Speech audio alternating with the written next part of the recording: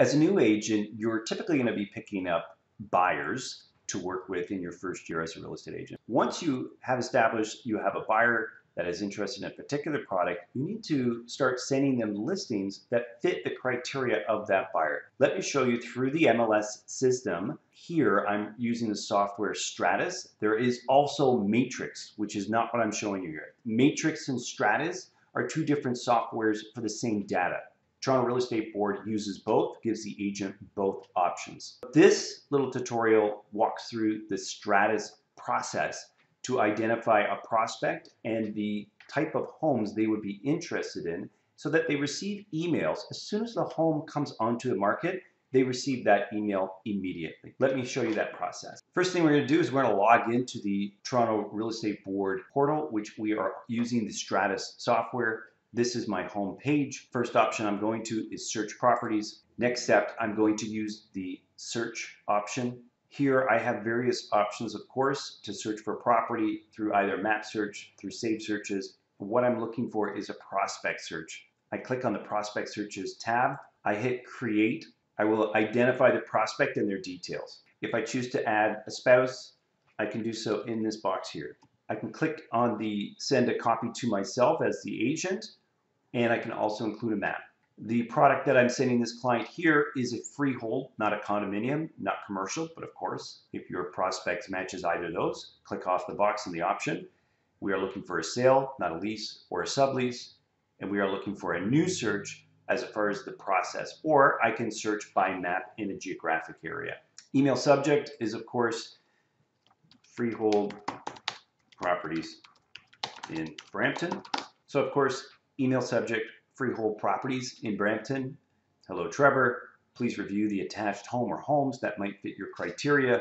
Let me know if this is something you'd like to go see. And then my contact details, of course. I can use an email signature, which is default, or choose a different style um, that I would like. I hit continue. And this is where I'm actually putting in the criteria, location, and the types of homes. I'm looking for homes in Brampton, which is in the region of Peel and I might be looking at a specific community, let's say Brampton East, which is typically Peel Village. I'm looking for this client with the property characteristics. This person wants a detached home. The type of home doesn't matter to this particular client, but they do want to have at least three bedrooms in this house. They do want to have three washrooms in the home. And I can, I can drill down as specific as I would like to, but for now I'm just going to use these criteria, detached home, minimum three bedrooms, minimum three washrooms. And you can see that my count say, states that there are eight in the area.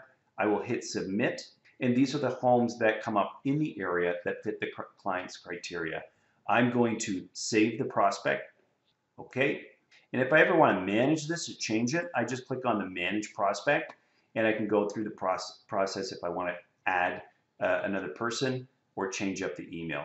Every morning when a new listing comes on the market, say it came on the market at 4 o'clock the day before, that email will go out to the individual uh, client approximately 2 a.m. Uh, every every morning after. So if it goes on at 4 o'clock, at 2 a.m. the next morning, an email will be generated and sent to that uh, prospect.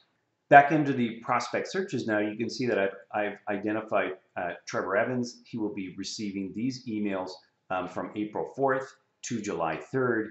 If I want to extend this uh, a period of time, I could do so. If I want to delete, of course, I can manage through that.